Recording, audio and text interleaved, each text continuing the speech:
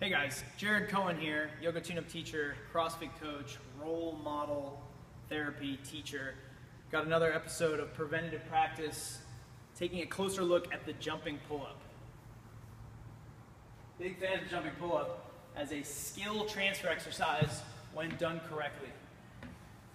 I'm purposely using a pretty tall box so that my start and land position mimics my finish position for what would be considered this partial overhead squat, the finish of my power snatch, finish of a power jerk, push jerk. You can see feet are nice and straight.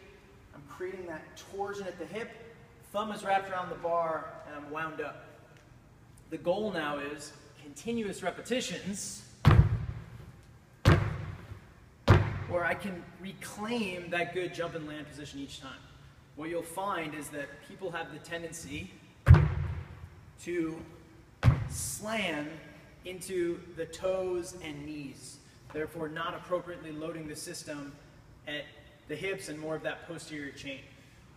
So again, think about this less like a pull-up, more like a jumping squat. That's my tall position, triple extension, double under, I'm pointing those toes.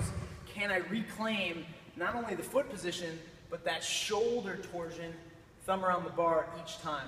I want to avoid the foot turnout and just stay accountable. So let's say I do end up here, well, instead of jumping to that next rep, I take that extra second to reset that good position.